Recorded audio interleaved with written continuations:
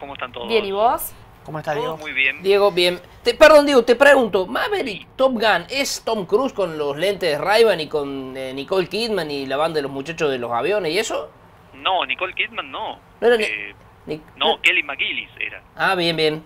El- me, me decís de la original, ¿no? De la película. Sí, sí, supongo, claro. Claro, Sí, sí. La, la- la que hizo de, digamos, pareja de él, la novia de él, era Kelly McGillis. Muy bien, muy bien. Días de trueno era con Nicole. Con Ni- de Trono sí que corría en NASCAR. Muy bueno también. claro. Bueno, eh, eh, tu, tu pregunta no es casual, porque en realidad Top Gun es eh, noticia, Claro. increíblemente, ¿no? Ujú. a 33 años de, del origen de esta película. Que no fue una saga, fue una película, la, la más taquillera de 1986, ¿sabían? Ah, mira. Esa fue Top Gun, sí. Yo creo que eh, cualquiera que haya estado un rato eh, con tiempo, un sábado a la noche, en algún momento de su vida se cruzó con Top Gun.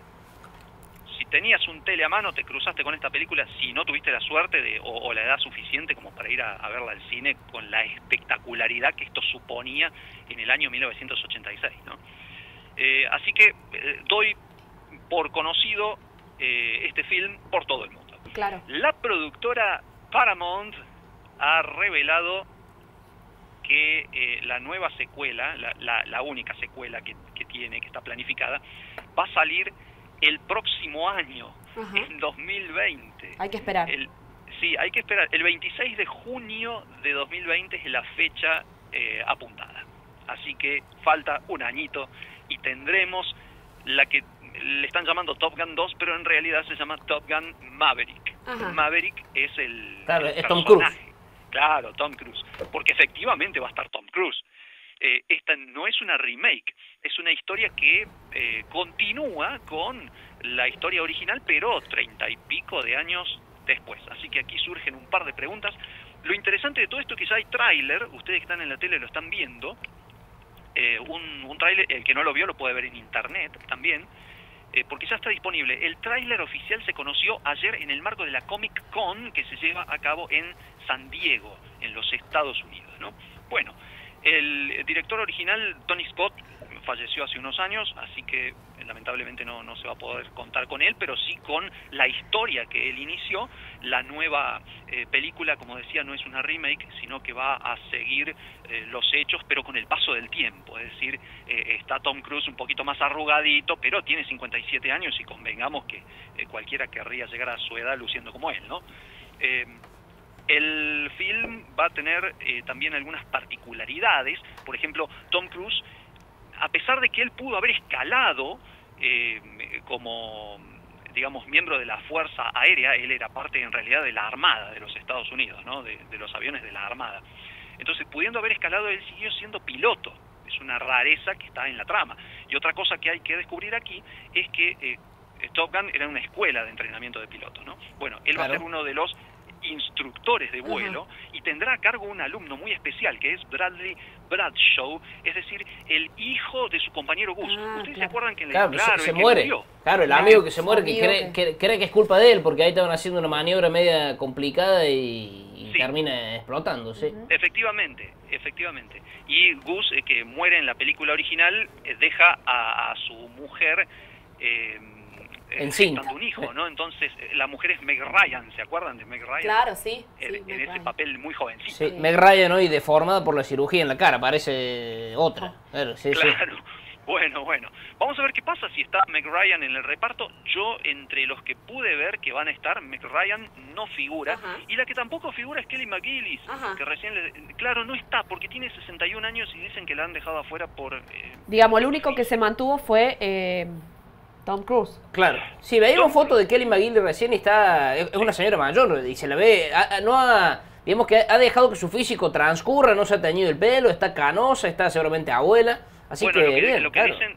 Lo que dicen los productores, de eh, no los productores, sino lo que se conoce extraoficialmente es que la dejaron afuera justamente por su aspecto físico Claro. Y la cambiaron por Jennifer Connelly. O sea, Tom Cruise hizo lo que hacen muchos a esa edad, ¿no? Claro, metió el, el, de- cambia eso. Si tanto la amaba hace 30 años atrás, lo hubiese 20, bancado ahora. dos de 20, Claro, viejo, es así esto. Al amor hay que meterle el pase lo que pase. Eh, sí, sí, hay que alimentarlo.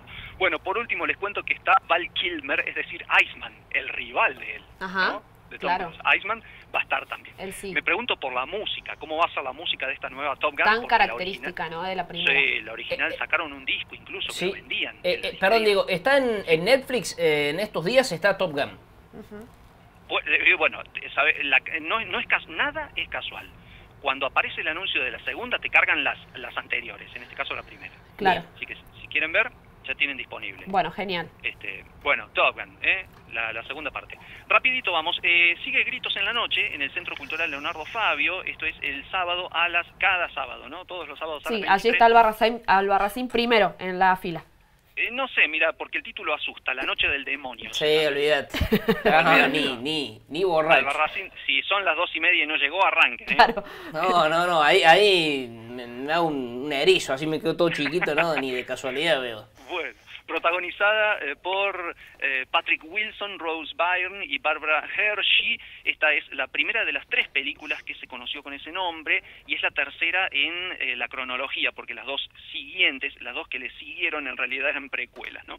Cuentan sobre una pareja cuyo hijo inexplicablemente entra en estado de coma y se convierte en un recipiente de fantasmas que vienen de una dimensión astral que quiere habitar ese cuerpo, ¿no? Bueno. Tremendo, tremendo. Si son de asustarse fácil, y no sé. Mañana 23 horas. Bárbaro. Eh, sigue el eh, festival de mm, vacaciones de invierno para los chicos. Claro, y se proyectan, rapidito les digo, Tadeo Jones, eso va a ser hoy en el eh, Centro Cultural Leonardo Fabio, 15 y 17 horas. Mañana se va a proyectar Pato Pato Ganso y el próximo domingo va a estar Una cigüeña en apuros. Dejamos el cine de lado, les cuento muy brevemente que continúa el circo, eh, el circo que está allí en la calle Sobremonte, al 400, anoche pasé y estaban con la función a la gorra que hacen después de las 20. Bueno, tienen tres horarios, sábado, perdón, viernes, sábado y domingo a las 18. Eh, voy a corregir los horarios en mi, mi apuro, mirá, este, ya veo doble. A las 16, a las 18 y a las 20 horas son las tres funciones, viernes, sábado y domingo, el circo en Sobremonte al 400. Hoy está Burraca, no se lo pierdan, ustedes, eh, Javier, después van a contar un poco más de eso. Sí, lo vamos a tener acá en el piso, a los chicos de Urraca que hacen música. Capaz que si me distraigo hacen música con mis zapatos, con algo, porque cualquier No. cosa lo utilizan, claro, sí. Impresionante, tocan todos, objetos Todo, todo. reciclados, no, no. Muy lindo, realmente muy lindo. Mañana hay un taller de pequeños reporteros para los chicos, es a la hora 16 en eh, la biblioteca Vagón Reino del Revés, ahí en el Andino, es un tallercito de radio que hacen para los pequeños y a la gorra. Bueno, estas son las eh, actividades también en el marco de las vacaciones. Último de lo último que les cuento es que eh, hay programada una actuación que tiene que ver con bandas de metal Sí. y mañana en Elvis va a estar Orcas. Claro. Orcas es una de las bandas de metal, eh, no te digo pioneras, pero casi en la Argentina. Ujú. Dat- Datan de 1988, ya no están los miembros originales de eh, Orcas, pero tienen un acumulado de 30 años de trayectoria y van a compartir la noche con eh, Cristo, la banda Río Cuartel, Claro. que celebra 20 años tienen, ¿eh? Sí. Eh, Así que hay mucho heavy, mucho heavy presente en la noche de mañana en Elvis. Entradas de 400 pesos desde la hora 20. Bárbaro. Eso es todo, Diego. Hay mucho más en realidad, pero sé que no tengo más tiempo, así que pido Te disculpas. agradecemos. A ustedes. Que tengas buen tengan fin de semana. Feliz Día del Amigo. A ustedes también, por favor. Gracias. Bueno, nos vemos el lunes.